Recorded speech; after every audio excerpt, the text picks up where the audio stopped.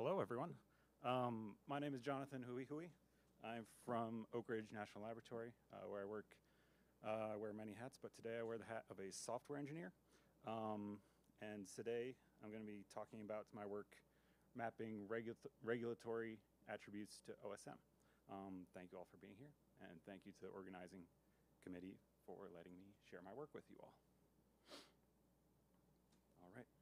So to kind of go over what I'm going to go over, um, first I'm going to uh, talk about the risk-based routing uh, application that we're working on. Um, it's risk-based routing for routing hazardous material shipments across the United States, um, and we do that in our application Secure Routes. Uh, next, oops. Next, I will go over why exactly we decided to use OSM for this purpose. Um, then I'm going to talk about some challenges that I ran into conflating uh, between an in-house network and the OSM itself. Um, and then I'm going to go over a little bit of a technical dive into mapping the regulatory attributes uh, from a low density to a high density uh, road network. Then I'm going to show the proof of concepts and briefly go over what's coming next. Right, so for risk-based routing, uh, the, the big thing you need is information. Um, and the goal here is to minimize the risk that is posed to the shipment. And this is like a risk for like hazardous materials getting shipped across the United States. And like the things, the type of risks you might run into is something like a terrorist trying to hijack that truck and gain those shipments and use it against the United States. Um, simple tools like Google Maps, they're great. And I'm sorry if that's like a faux pas at OSM for including a screenshot of Google Maps, um, but it was quick and easy. Um, those are great for getting like the quickest route, you know, from ORNL to Salt Lake City, um, but they don't tell the whole story.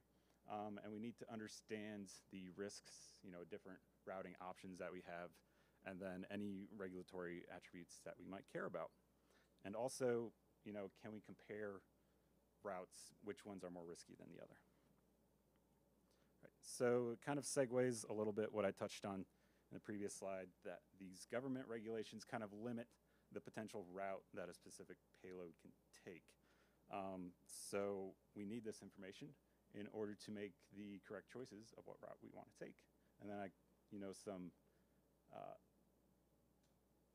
signs that we see along the highway, you know, we can only use certain highway for a hazmat carrier or you know you don't want to take hazardous materials through a tunnel. Um, pretty logical, but that information is important for route planning. Um, so what Secure Route does is we use risk attributes um, along the route to determine the risk of that route. And so I've included a screenshot um, from our application um, kind of detailing the route that I had on Google Maps uh, from ORNL to Salt Lake City.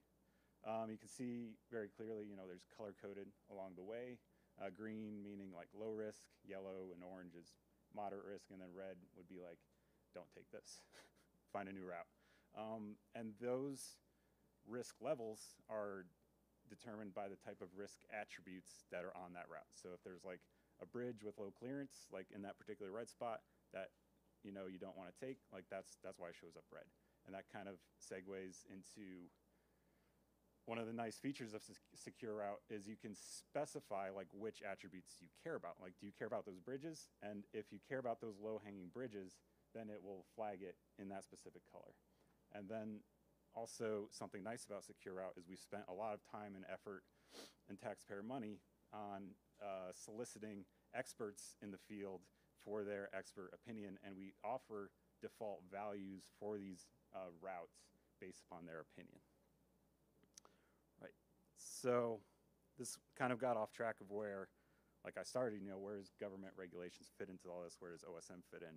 And I'm going to start addressing that. So also previously, or I want to mention that this all previously has been done on an in-house routing network and we're moving to OSM. Right, so that's kind of captured here in this slide. Um, I included a screenshot of the routing network that we were using.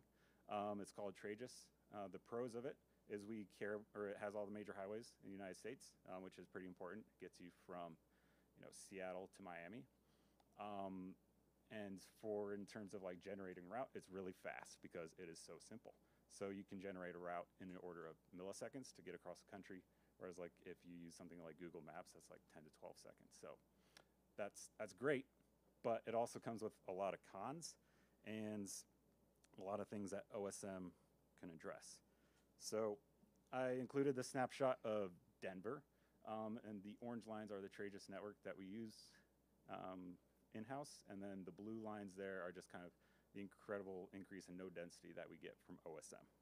So clearly, you know, there's way better node density, you have way more detail of routing that you're able to achieve, and spatial accuracy. And then I just wanted to kind of include an anecdotal piece. Um, on the left there, uh, it's a route from the town where I live up in Buffalo, New York. Um, I'm lucky to work remotely. Um, and I was like, what happens if I try to route myself on our application to a conference that we have this summer? And so on the left, you can see the, the yellow line doesn't really capture the route well, which is unfortunate. And but then, you know, as soon as we move to OSM on the right here, on the route shown in blue, um, captured it perfectly. Like it gets you downtown, and it works very well. Um, right. So some of the challenges of using OSM, um, and we're using it locally. One of the challenges is that it's a very large data set to ingest. Um, it's large, cumbersome, difficult to deal with, and we actually had to like refactor our entire risk algorithm and the way we handle routing.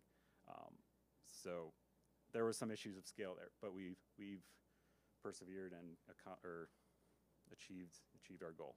Um, and then also just mapping our existing attributes isn't a simple like st intersect, um, which that's a spatial function available in PostGIS. And then also, how do you ensure accuracy?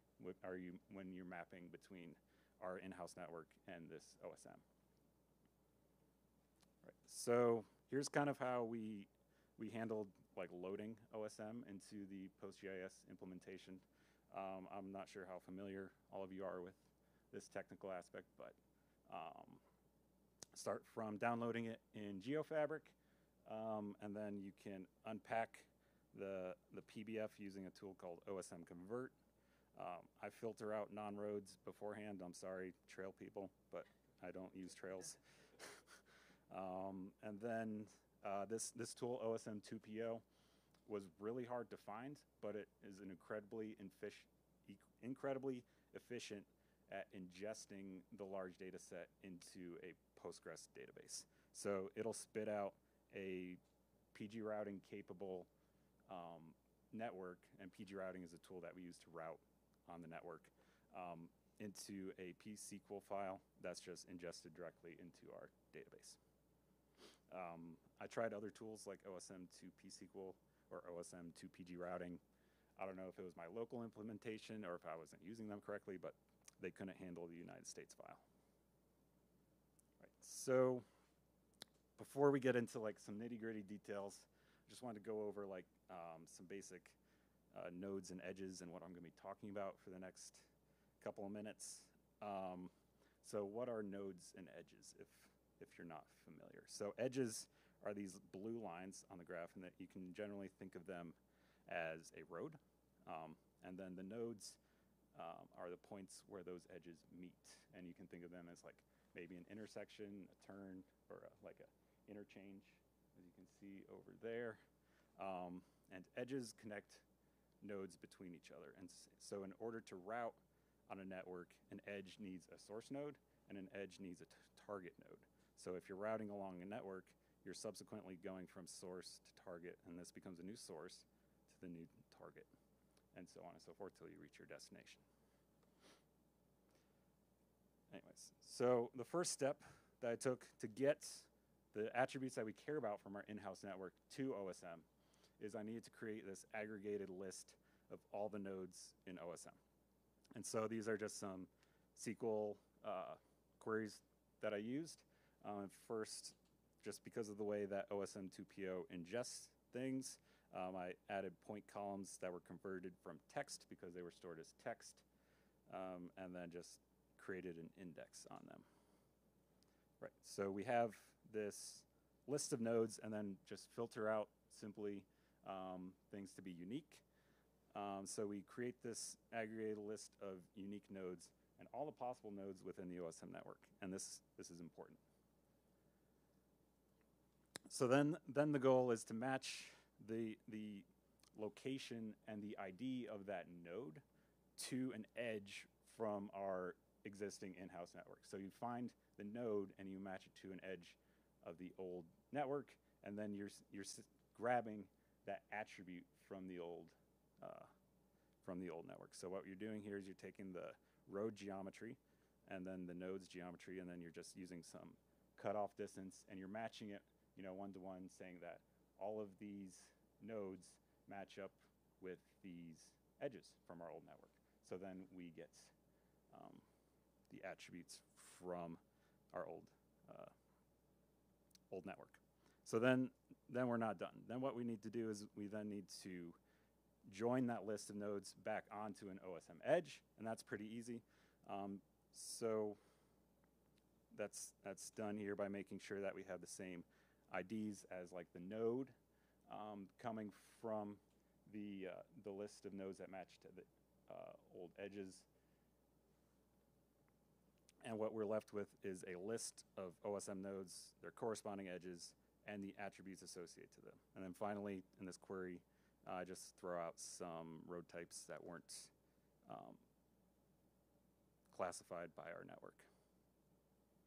Right. So then, then I do some filtering steps um, where I've uh, found all the nodes in this this new table that I've created where we have um, the attributes assigned to the edges and then we have the node IDs and I make sure that both the source and the target ID are in that list. And what's that that's doing is making sure that we're filtering out things like, you know, things that kind of jut off that we don't want to include in our list.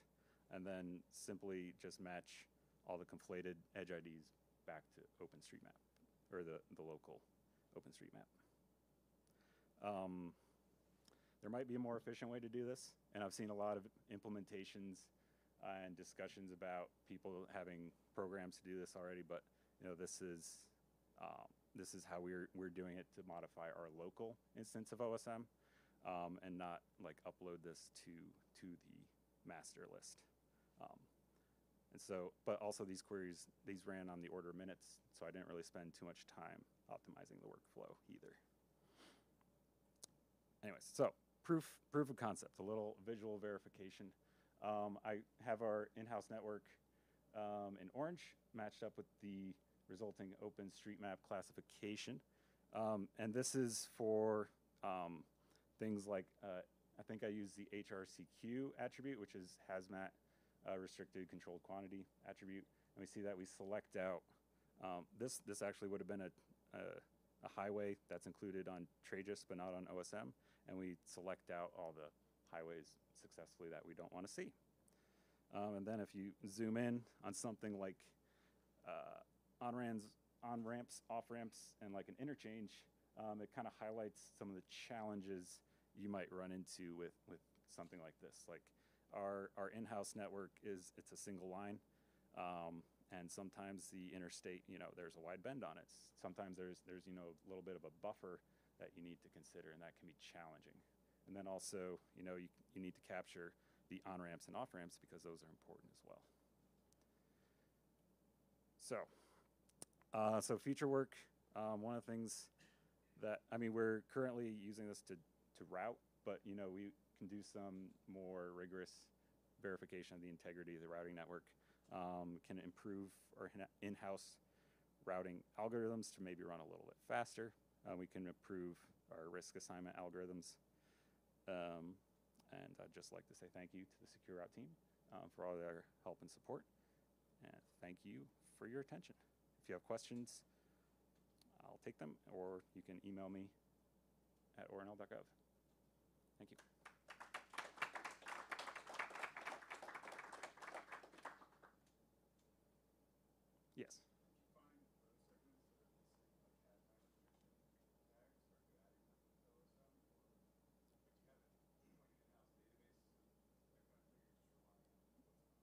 Yeah, so we we we take the attributes from our in-house network and we map them to OSM. Like I know OSM does have those attributes, and like I said, like hazmat is one of the attributes that we take over. Like that's that's kind of like a sponsor requirement.